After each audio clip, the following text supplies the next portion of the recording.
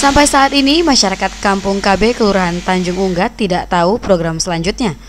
Kampung KB sendiri merupakan program dari pemerintah pusat dan sudah berjalan, namun hingga saat ini warga yang berada di Kelurahan Tanjung Unggat tidak bisa berbuat apa-apa melainkan menunggu program selanjutnya dari dinas tempat.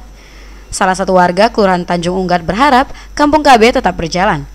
Bapak Zul Inzarni, warga Tanjung Unggat, Kota Tanjung Pinang mengatakan, Kampung KB di Tanjung Unggat sekarang butuh kelanjutan program.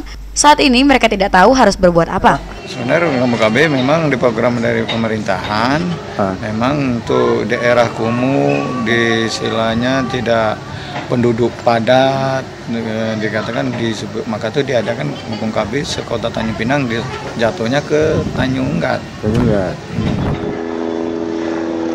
Dari Tanjung Pinang, Kepulauan Riau, Muhammad Holul melaporkan.